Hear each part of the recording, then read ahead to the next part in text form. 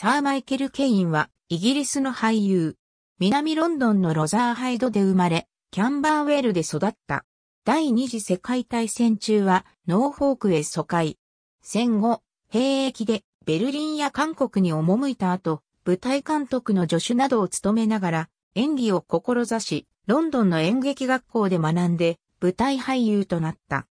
デビューした時のステージネームはマイケル・スコットであったが、同名の俳優がいたため、その名を変更しなければならなかった。ロンドンのレスタースクエアの電話ボックスでエージェントと名前変更の話をしていた時、あたりを見回すと、オデオンで偶然、ケイン号の反乱が上映されており、生をケインに決定した。後年インタビューで、その時上映されていた映画が、101匹ワンちゃん大行進だったなら、名前はマイケル101ダルメシアンだったろうと冗談交じりに話した。1956年、韓国の岡の脇役としてスクリーンデビュー。下積みが長かったが、1964年のズール戦争の陸軍中尉役で注目され、1965年にはレンデートンのスパイ小説を原作とした国際諜報局で主演。この映画では007シリーズのジェームズ・ボンドのアンチテーゼであるメガネをかけたシニカルなサラリーマンスパイのハリー・パーマーをひょうひょうと演じた。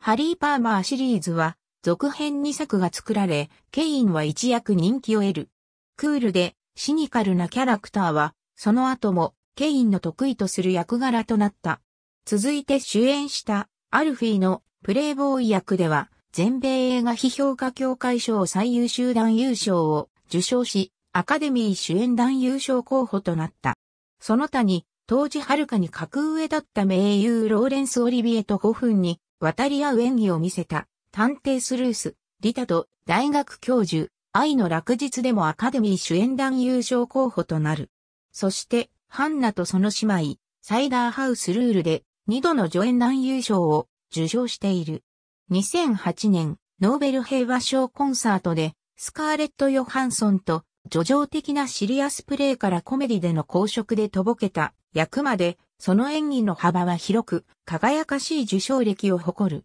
名優中の名優であるが、スケジュールと出演料の都合さえ合えば、作品を選ばない主義である。そのため、出演作品は非常に多く、時に、スーム、ポセイドンアドベンチャーに沈黙の要塞などの失敗作や、オースティン・パワーズ・ゴールドメンバーのような改作にも出演している。また、太平洋戦争末期の日本軍と連合軍とのジャングルでの戦闘を描いた燃える戦場では、イギリス軍二等兵役で日本軍少佐役の高倉健と共演した。最初のアカデミー助演団優勝の受賞の際、ジョーズ87復讐編の撮影でバハマ滞在中であることを理由に受賞式を欠席したのは有名なエピソードである受賞は逃したが、ワースと助演男優賞にノミネートされた。帰国後にテレビのトークショーに出演し、制作者のみんな、オスカーをもらったからってギャラをふっかけないから安心してくれと発言した。二度目の助演男優賞を受賞した2000年のアカデミー賞授賞式では出演作の多さを司会のビリー・クリスタルに、授賞式の休憩中にも一本取るのかい？とネタにされた。スパイ、ハリー・パーマー役で著名となったケインは、ジェームズ・ボンド役を演じたショーン・コネリー、ロジャー・ムーア、ピアース・ブロスナンと共演し、主役を演じた経験がある。また、前述のオスカー授賞式に欠席した翌年に、プレゼンターとして出演した際、コネリー、ムーアと三人で壇上に上がり、丁々発止のやりとりで会場の爆笑を誘っている。ジュード・ロウとは、縁あってか、アルフィーと探偵スルースのリメイクでは、かつてケインが演じた役をローが演じており、後者では、ケイン自身もローレンス・オリビエがオリジナル作品で演じた役で出演している。キャリアへの評価から、1993年には英国女王エリザベス2世から CBE 勲章を受賞された。さらに2000年には長年の活動を称えられてナイトに上され、サーの称号を受けた。近年では劇中内で死にゆく今和の際の老人役に抜擢されることが多いほか、クリストファー・ノーラン監督作に頻繁に出演しており、バットマンビギンズ以降7作品に出演している。A トータルフィルム氏が発表した映画史に残る監督と俳優のコラボレーション50組では26位に選ばれている。2015年、ユースで第28回ヨーロッパ映画賞で男優賞を受賞。また、栄誉賞も同時に贈られた。